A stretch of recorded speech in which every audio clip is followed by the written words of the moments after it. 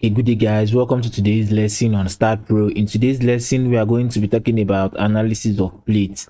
So let's go to grid and let's go to beam grid. Okay, so we can see this here. Then we go to edit and let's choose XZ plane. So we want to model a 6 meter by 6 meter plane. So select your 6 meter, hold control. It doesn't draw the beam because we don't want there to be a beam. And we'll draw this and draw this. Okay so i'm done with that escape. Turn off your beam grid and you can see this four grid. The next thing i want to do now is to come here. We have add plates. Select this. We have triangular plate infill plates and this. We'll be using this add quad plates. Now select it. Click here. Click here and click here. Okay. So we've joined.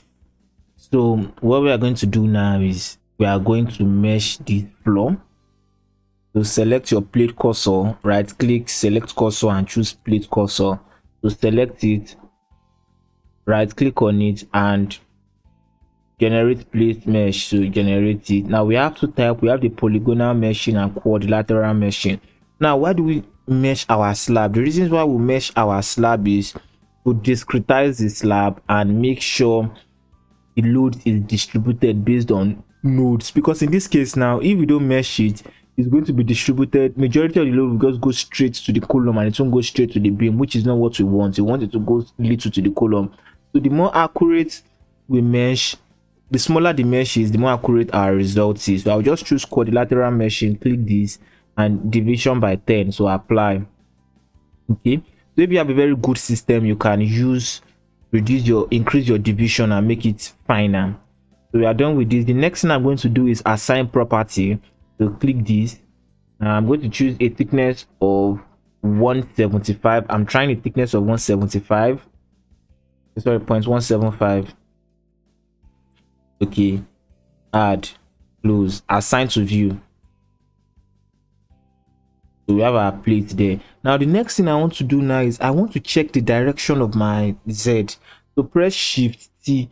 Now we can see the z is facing down. That means my top is facing down wherever your z is facing wherever the direction of your z that's the direction of the top of the slab.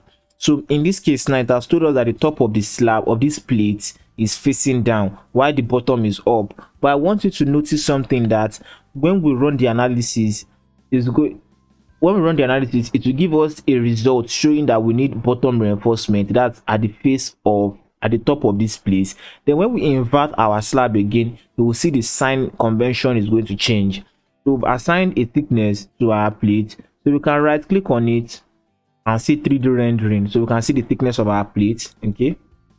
Yes. So the next thing i want to do is assign support to create support. So we are going to make it a simply supported structure. So if you put pinned support here that means there's no continuity at that point. But if you put fixed there's going to be continuity which will lead to hogging moments. But in this case we want to put pinned for a simply supported slab so we'll go to plate from the top. So hold control for multiple selection. Okay. This. Okay. So assign to selected nodes. Assign to selected nodes. To display a structure. So i can press shift t and turn them off.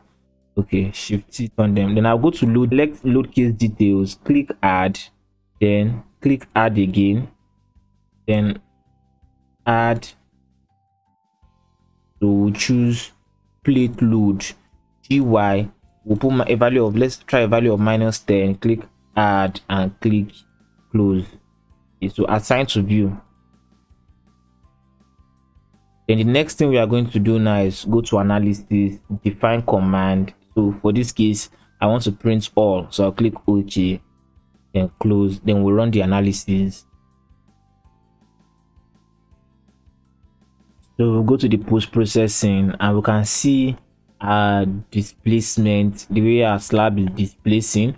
Once you select your node cursor on a node you can see it here is displacing at minus this is the value is displacing minus 5.16 millimeter.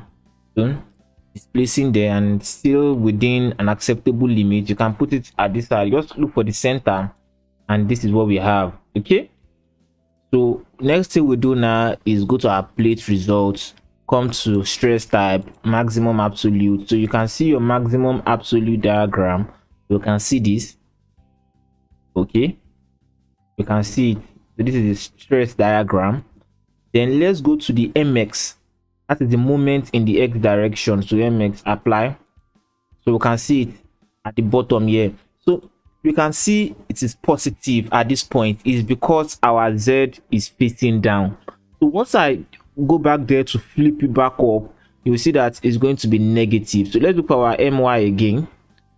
So come to plate stress here and let's look at my okay so we can see so we can see that mx and my is within the same value because it's a square slab. So if you get within the same value. So what we're going to do now is we'll go back to the modeling place. We'll come back here.